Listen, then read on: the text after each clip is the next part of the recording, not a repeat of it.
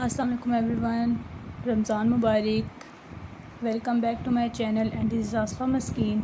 So I start the topic of solution of simultaneous linear equations we discuss solution of simultaneous linear equation students previous जो lecture था, वो हमने पढ़ा था multiplicative inverse of a non singular matrix multiplicative inverse of a non singular matrix उसमें मैं हम लोगों ने जो फ़र्स्ट टॉपिक जो पढ़ा था, वो था हमारा inverse of a matrix using adjoint हम लोग एडजॉइंट जो है वो कैसे फाइंड करते हैं? हम लोगों ने एक जनरल मैट्रिक्स भी ली थी और एक एग्ज़ाम्पल भी लेके हमने सॉल्व किया था। आज हम डिस्कस करेंगे solution of simultaneous linear equations we discuss following two methods.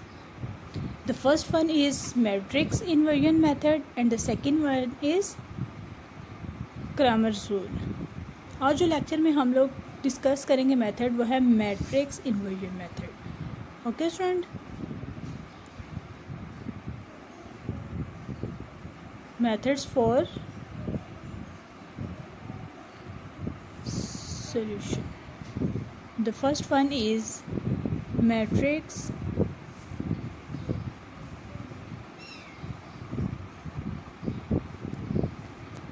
Inversion method.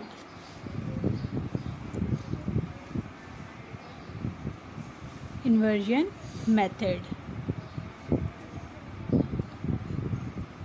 And the second one is Cramer's rule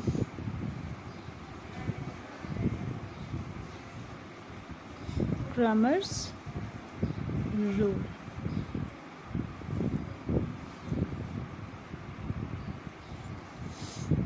First one is matrix inversion method आज जो डिस्कस करेंगे हम लोग वो है मैट्रिक्स इन्वर्जन मेथड आज हम जो है वो जनरली इसको सॉल्व करेंगे.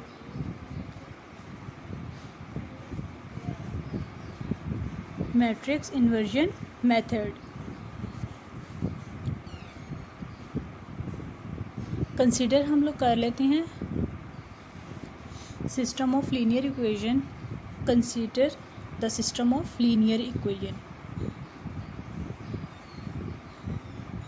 system of linear equations linear equations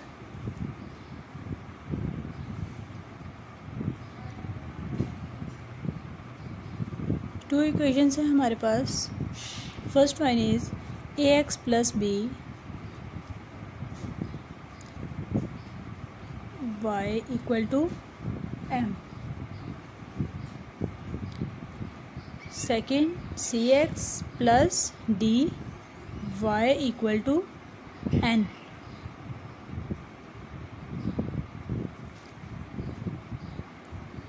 अब हम इसमें से कोफिशेंट मैट्रिक्स को अलहदा करते हैं वेरिएबल मैट्रिक्स को अलहदा कर लेते हैं और जो कांस्टेंट मैट्रिक्स है उसको अलहदा कर लेते हैं। जो कोफिशेंट मैट्रिक्स है वो है A B C and D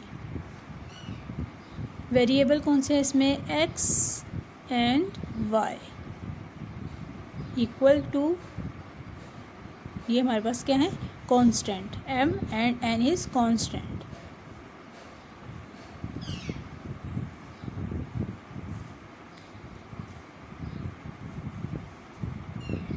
A is coefficient matrix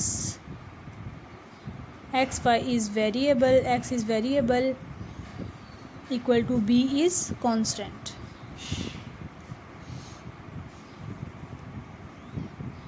A matrix हमारे पास क्या है? A B C and D ये हमारे पास ए मैट्रिक्स है।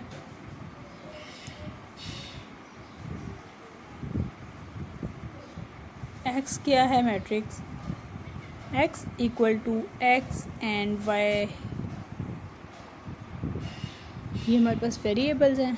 X and Y two variables constant भी हमारे पास क्या है? Two constant B equal to M and N M N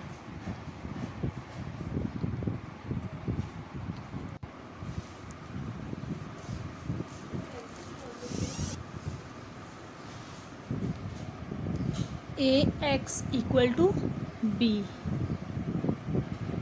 X जो है वो एज इट इज़ रहेगा equal to A inverse B X is equal to A inverse of B X A inverse का हम लोग यहाँ पे फार्मूलेट कर देंगे, जो कल लेक्चर में मैंने आपको बताया था। ए इनवर्स का formula adjoint of A over A determinant into B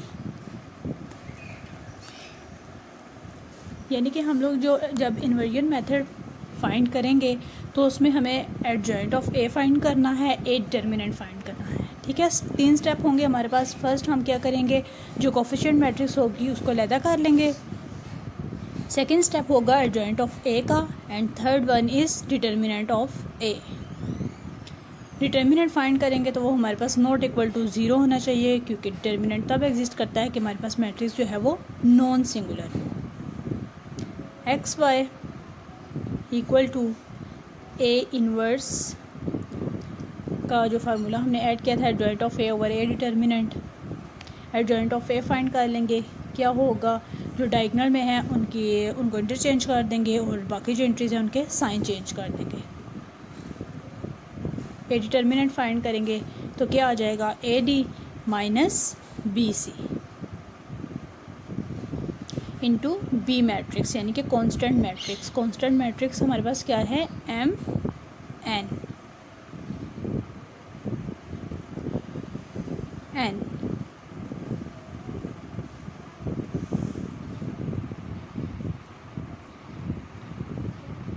अब हम मल्टीप्लाई कर देंगे मैट्रिसेस को. D M minus B N over A D minus B C A D minus B C दोनों मैट्रिक्स के साथ हम लोग सेपरेटली लिख देंगे, ठीक है? बी सी डिवाइड कर देंगे, ठीक है? दोनों के साथ. नेक्स्ट क्या है? Minus C M plus A N divided by A D minus B C A D minus B C